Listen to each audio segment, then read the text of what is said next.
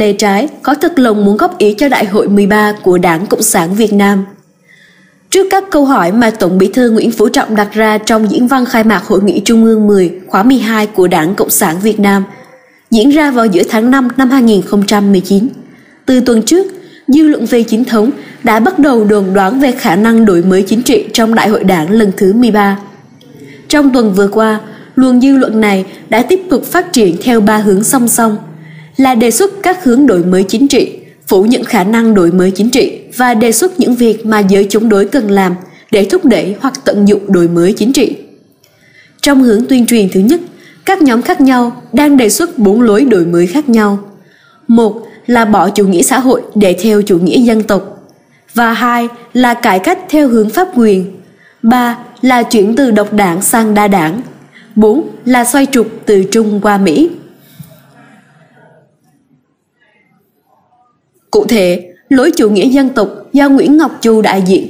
Chu kêu gọi sửa đổi điều lệ của Đảng Cộng sản Việt Nam theo hướng chuyển từ một đảng của giai cấp công nhân, hoạt động theo chủ nghĩa Mark, Lenin và tư tưởng Hồ Chí Minh để đưa đất nước tiến lên chủ nghĩa xã hội và chủ nghĩa cộng sản, thành một đảng của dân tộc, tôn thờ truyền thống của cha ông để xây dựng một nước Việt Nam dân chủ, độc lập, tự do, hạnh phúc. Để chứng minh quan điểm của mình, Chu viện dẫn các phát ngôn của cố chủ tịch Hồ Chí Minh và truyền thống của cha ông, rồi nói rằng không được làm trái với cha ông, ai làm ngược lại là sẽ có tội với dân tộc và bị lịch sử phán xét. Lối pháp quyền được đại diện bởi ông Tô Văn Trường. Trong một bài viết trên BBC, ông Trường đưa ra quan điểm của mình bằng cách trả lời ba câu hỏi trong phát biểu khai mạc Hội nghị Trung ương 10 khóa 12 của Tổng bí thư Nguyễn Phú Trọng. Về câu hỏi có nên xóa bỏ thành phần kinh tế nhà nước không? Trường cho rằng chỉ cần bỏ phân biệt đối xử đối với kinh tế tư nhân, đồng thời thu hẹp kinh tế nhà nước vào các lĩnh vực mà tư nhân không thể làm và giám sát chặt chẽ bằng các cơ chế công khai, minh bạch. Về câu hỏi, đổi mới chính trị có phải là đổi mới chế độ chính trị không? Trường cho rằng cần tập trung vào việc thiết lập cơ chế để nhân dân thực hiện quyền làm chủ đất nước, quyết định đối với hệ thống chính trị sự vận hành của hệ thống chính trị và đường lối phát triển đất nước. Về câu hỏi, có cần phải sửa đổi điều lệ của Đảng Cộng sản Việt Nam hay không? Trường cho rằng, nếu sửa đổi đường lối quản trị quốc gia thì mặc nhiên phải thay đổi điều lệ đảng. Còn trong khi chờ đợi việc đó thì chỉ cần đảng hoạt động theo hiến pháp, pháp luật, làm những gì đã nói, ra đạo luật bảo vệ sự độc lập của tư pháp thì cũng là tốt rồi. Lối đa đảng được đại diện bởi Trần Gia Ninh. Ninh so sánh các con số về tăng trưởng kinh tế để khẳng định rằng chế độ đa đảng luôn ưu việt hơn chế độ độc đảng và thể hiện mong muốn rằng Chủ tịch nước Nguyễn Phú Trọng sẽ chuyển đổi thể chế chính trị của Việt Nam sang đa đảng. Mai Quốc Ấn cũng viết một số bài theo hướng này. Ngoài ra, Lê Công Giàu, Huỳnh Tấn Mẫm, Huỳnh Kim Báu và Tương Lai viết kiến nghị đòi đưa ra các câu trả lời của Tổng bí thư Nguyễn Phú Trọng ra thảo luận trong kỳ họp Quốc hội gần nhất, đồng thời trưng cầu dân ý về chúng.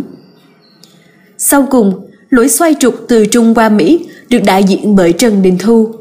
Thu bình luận rằng chỉ Chủ tịch nước Nguyễn Phú Trọng mới có khả năng xoay trục vì Chủ tịch vừa đang nắm giữ quyền lực tập trung, vừa không tham nhũng. Trong hướng tuyên truyền thứ hai, An Viên của Việt Nam Thời báo phủ nhận khả năng đổi mới của Đảng Cộng sản Việt Nam. Viên viết rằng, Chủ tịch nước Nguyễn Phú Trọng không có khả năng xoay trục vì hai lý do. Một là nguyên tắc tập thể lãnh đạo trong sinh hoạt đảng. Hai là việc Chủ tịch chưa kê khai tài sản để chứng minh mình không tham nhũng.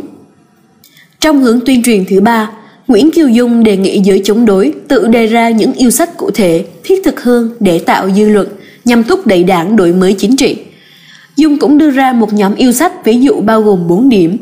Đòi quyền đăng ký tổ chức các cuộc biểu tình có nhân số dưới 200 người, trong khuôn viên có hàng rào bao quanh. Đòi 30 đến 50% số ghế đại biểu quốc hội do dân bầu trực tiếp. Đòi cấp phép hoạt động cho 2 đến 3 tờ báo tư nhân và 1 đến 2 đảng đối lập. Sau khi xem xét vấn đề, chúng tôi xin đưa ra ba nhận xét. Thứ nhất, trong các bài viết vừa kể, chỉ có bài viết của Tô Văn Trường bám sát các phát biểu, văn bản trong hội nghị Trung ương 10. Nội dung của các bài viết còn lại cho thấy, dường như tác giả không đọc kỹ các văn bản trong hội nghị, cũng không quan tâm đến chủ trương của đảng Cộng sản. Như vậy, ta có lý do để nghi ngờ rằng, trừ ông Trường, các tác giả còn lại không thực sự muốn góp ý cho Đại hội 13. Họ chỉ muốn tận dụng việc góp ý, kiến nghị để phát biểu các chủ kiến chính trị riêng của mình, không liên quan đến chủ trương của Đảng Cộng sản Việt Nam, nhằm thuyết phục và tập hợp quần chúng, đồng thời khiến quần chúng thất vọng với chế độ khi các kiến nghị không được thực hiện.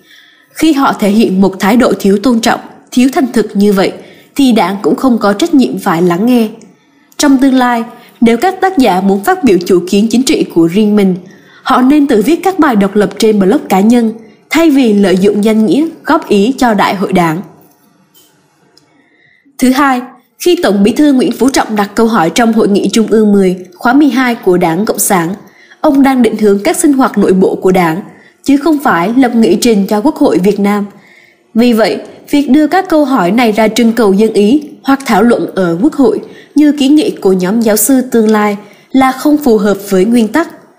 Ở mọi nước, đa đảng cũng như độc đảng, các đảng cầm quyền chỉ đưa ra Quốc hội những chủ trương mà nội bộ đảng đã thống nhất với nhau.